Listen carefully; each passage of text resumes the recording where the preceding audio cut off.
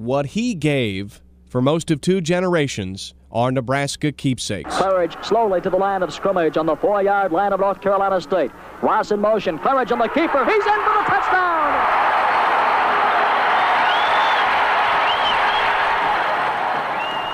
Autumn in Lincoln, Memorial Stadium, 1962. The voice, Bob Zenner, Nebraska's outstanding sportscaster. These are the golden gridiron moments, just as they happen, from broadcasts of one of the great seasons of Cornhusker football.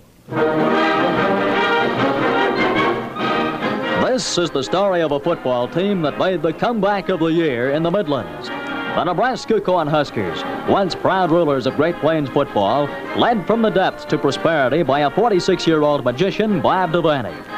After winning four Skyline Conference titles at Wyoming in five years, the combination wizard humorist took the reins of the Huskers in Lincoln. He produced nine victories, most in one season since 1905, and captured the hearts of Nebraskans from the Panhandle to the Missouri River. With the remnants of a team which had won only three against six losses and a tie in 1961, Devaney had a realistic outlook as his first Nebraska squad opened against the University of South Dakota. We are looking forward uh, with a great deal of anticipation uh, the opening of our football season against the University of South Dakota here in Lincoln at Memorial Stadium. Uh, we're anxious to show this team to our fans and hope that uh, in this first showing we can come up to the expectations that uh, have been set out for us.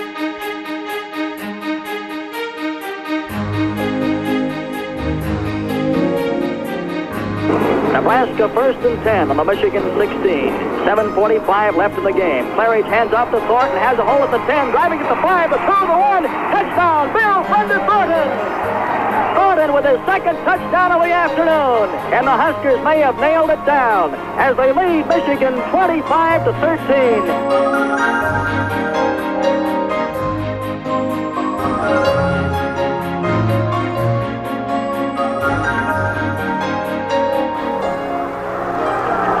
Second down 10. Miami with the football on the University of Nebraska 43-yard line. Shotgun offense. Mira back to throw. And the pass is broken up and intercepted by Bob Brown. The big guy driving straight upfield at the 43-yard line. The ball is deflected and they're going crazy on the Huskers sideline across the way. And if the Huskers can hang on for exactly 58 seconds, they will win the 1962 Gotham Bowl game. The crowd chanting out the seconds. Let's pick it up.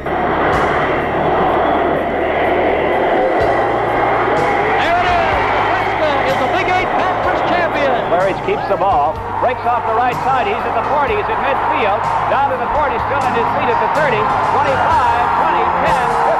Over for a touchdown. And the Big Red of Nebraska will go back to Lincoln, Nebraska, happy tonight because they have won the 30th annual Orange Bowl Classic.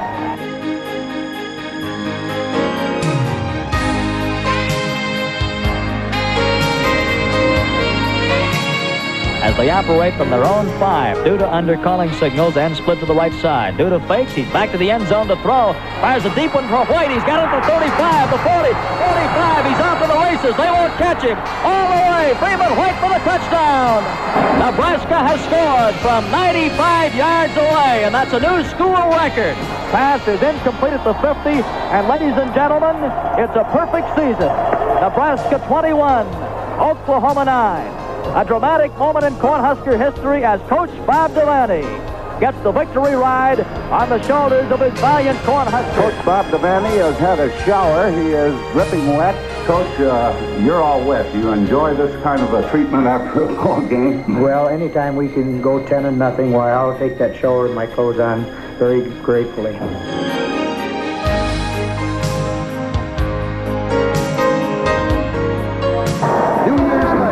1971, a truly big night and a big page in Orange Bowl history, as results received from the Cotton and Rose Bowls have put the national championship on the line here tonight. Gary Tagge calling signals after a 67-yard march. And on a quarterback keeper, he dives for the goal line, making sure his plunge is across the goal line. Coach Bob Devaney's unbeaten Nebraska Cornhuskers are number one.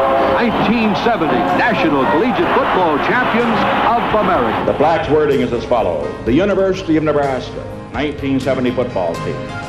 champions of the Big Eight Conference, victor in the 1971 Orange Bowl, and picked by the Associated Press number one team of the nation. College football 1971, the game for number one. Unbeaten and untied Nebraska versus unbeaten and untied Oklahoma. Today it's the showcase of college football. Joe Wylie in to kick. Wylie stands at his own 24, waits for the snap. Rodgers deep for Nebraska. Here's Wylie's kick. It's high. It holds up there. Rodgers takes the ball at the 30. He's hit and got away. Back upfield to the 35, to the 40. He's to the 45.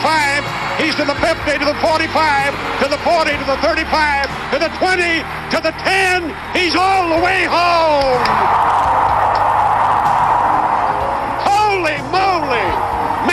And child did that. Put him in the aisles. Johnny the Jet Rodgers just tore them loose from their shoes. Here in the Orange Bowl tonight, the finest football team in Nebraska history, and possibly the finest in the history of college football, crushed the Alabama Crimson Tide 38 to 6. It was the Bear's worst defeat at Alabama, Bob Devaney's dream of a lifetime, and Nebraska's finest hour as they became the most unanimous national champion in modern times. You ought to run for something in this state. Bob is a legend in the state of Nebraska in his own time. There's no question about it. And I was watching him just a little bit ago. He was staring at his glass of water, and he was trying to decide whether to walk on it or part it. Tis better to give than to receive. Yes, indeed. Tis better to give than to receive. Much better if you want be forgiven and know the joys of living. Tis better to give than to receive. Now do it. Thank you.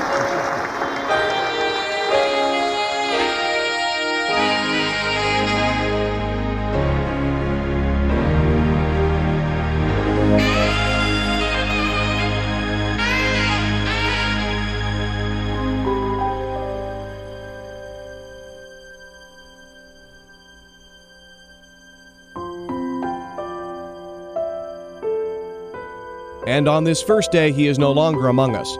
We pause not so much to recall the glorious Saturday afternoons, rather the vivacity Bob Devaney delivered to a people, once uncomfortable with their own charming simplicity. His first quarterback was Dennis Claridge. Liked him, just plain liked him. I don't know of anybody that didn't meet Bob or was around him for five minutes, ten minutes that didn't like him. Devaney's time, though momentous to the legions who came with an incredible eminence to revere him, was in fact conducted by a single simple fellow of overwhelming modesty. Omaha's own Adrian Fiala played on some of Devaney's best defensive teams. Even if he would have been mildly successful, he still would have uh, had the great following that he did because he just he had that uh, he had that uh, charisma about him that uh, that most people just uh, uh, would latch onto and and and go for the ride.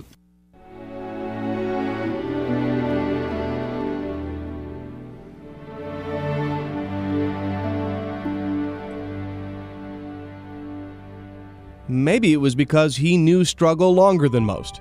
As a player, in his first game for Alma back in 1936, he lost three teeth. Bob was an economics major, yet when he left college four years later, Devaney still owed them $350. As a high school baseball coach, Bob gave up on a pitcher, moved him and his weak bat to first base. Years later, that player, Bob Buhl, became an all star right hander with the Braves. Before coaching, Devaney did piecework in a Chevrolet foundry. His grandfather was a tugboat captain. Bob had that ability, and not many people do, where he could visit with the President of the United States, the Governor of Nebraska. He could visit with uh, the local uh, president of, uh, you know, the union down here, Burlington Yards, or he could sit down and at, at the corner of the bar and talk with somebody who had just maybe lost his job he had that ability uh, to do that sort of thing. And I think people in Nebraska uh, realized that he was he was just a genuine person in that regard. I mean, there was there was no fluff about Bob Devaney. Coach, you mentioned Marcus Dupree. He's only a freshman. people say there's good. We got to look at him for another three years. Are there some dangers involved in that kind of thing? I mean, the danger implicit is that he's going to, you know, be a tough football player. But I'm talking about bringing him along over the next three I years. think the best thing would be to have him flunk out. That personality, penchant for self deprecating humor, and builder's genius made in January of 1962 for a sound union with Nebraska and its suffering football fortunes. Over the six years Devaney coached Wyoming teams earned respect, the Huskers had been intransigent failures.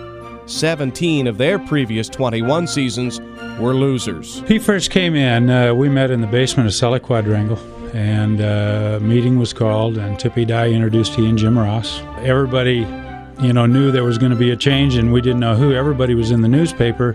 Uh, except Bob Devaney. I, I'd never heard of the guy, to be honest with you. And and he came in and probably talked to us for five minutes to ten minutes, and uh, he was very light, uh, but very sincere and very honest. Uh, I don't think he pulled any punches, but uh, he let you know that uh, things were going to be different and we were going to win. And, and that was the expectation, but we were going to do it in a maybe a little more fun way. You believed him. You wanted to believe. You weren't successful the year or two or three before, and here was a guy who came in that said you were going to be successful, and uh, you wanted to believe, and so you believed. Third down, three. Nebraska on the 12 yard line of North Carolina State. One minute, 15 seconds left. Hugie split right. Calm and calculating. Claridge takes it off the tee. Pitches out to Stewie. He's got a block. Gets in at the 10 to the 5, the 2 to the 1. He scores! As his teams won, Devaney became a celebrity. That is Stewie with his second touchdown of the second half. Memorial Stadium is Bedlam. His humility, legendary. Telegram. Received a telegram today. Dear Bob, congratulations. You have become our number one customer. Signed, J.P. Witherspoon, President and Chairman of the Board of the Seagram's Distilling Company. His number never left the phone book. When they got here, Bob and Phyllis put down money for a plain Jane house on Lincoln's tree lined C Street. The Devaneys were neighbors there until the Clinton administration. To his own prosperity, he would often credit luck. Situations trigger success, he'd offer. On his immense popularity, he'd quip that the size of his own funeral would depend generally on the weather. Longtime assistant coach John Melton. And there was always humor in our practice. You know, like for instance, at the end of the practice, Bob might, he calls them all in together and he might tell them a story or something. Or he'd say, hey, go take a couple laps around Don Bryant and go on in, you know, things like that. And it'd break up the kids, and they always left on the, on the high note. So I asked John to send down a group of freshmen, and he set me down 11 of the biggest, fattest, slowest kids he had, see? Well, I, I don't I don't like to try to pass the blame on, but, but you can see that with these fellas out there to practice again, even as fine a kicking coach as I am, there, there can be some problems. He reacted to uh, uh, different situations in different ways, but it always seemed to be, you know, in a positive way. He was a good guy. He was a positive guy, and, and uh, whatever happened, I think he was going to make the best of it. Devaney shook off the significance of the separation between his elite fraternity of peers, Bryant, Royal, McKay, from those who toiled in the coaching trade. I think he never forgot the players that played for him. Uh, I don't think he forgot the donors when it wasn't fashionable to be donors. I don't think he forgot faculty and, and administration that helped. Uh, you know, and that's that's modesty too, is to recognize those people that have helped you along the way and, and, and made you what you are. He never admitted his gift. That something which he and the other gifted could not alter, could not teach, nor hand down to others, and invariably always fumbled to explain. Coach, when you put your team on the field at Nebraska, what type of a boy do you want playing football for you? Well, we like uh, a big, fast, tough kid who likes to hit people. And also, I might add, we'd like a boy who has a, a, good amount of intelligence because football is not uh, just a game of brawn or muscle, it is also a game of brain. And so we like a combination of quite a few things. We don't always get that combination, but that's what we aim for. His troops were hypnotized by his uncanny capacity to motivate. Joe Blahak was an All America defensive back, on Devaney's national title teams. He made you feel like he really, really cared, and I think he did. I, I don't think it was just a, a feeling that he presented more than the way he would talk to you and, and the way he would treat you. Uh, he treated you like a young man. Once tiring of a lackluster effort by a talented defensive end, Devaney packed up that kid's uniform, presented it to him, and offered some advice. We suggest golf. That way you can use your strength without fear of injury. Sufficiently induced, the kid eventually made his way into the College Football Hall of Fame by the name of Bob Brown. The thing that he imbibed in me was give it your best and and don't ever quit. Keep going, keep going, keep going, and go until that final bell is rung, and then it's over. You know, they talk about the gleam in his eye and things like that, but he was a good guy who could look you in the eye and you, you felt that he was listening to you, that he believed in you. Uh, but there was a twinkle there that, uh, you know, let you know that life was fun too. He was never uh, uh, distant. I mean, he'd come up and Joe, how you doing? Or Johnny, how you doing? And you were just treated equally and, and fairly all the time. And if you had a problem, you, you could always go to to uh, his door and, and ask him anything. And, and you know, if you if you were homesick, he was always there for you. And he, and he really did treat you almost like a, like a, a father would treat you.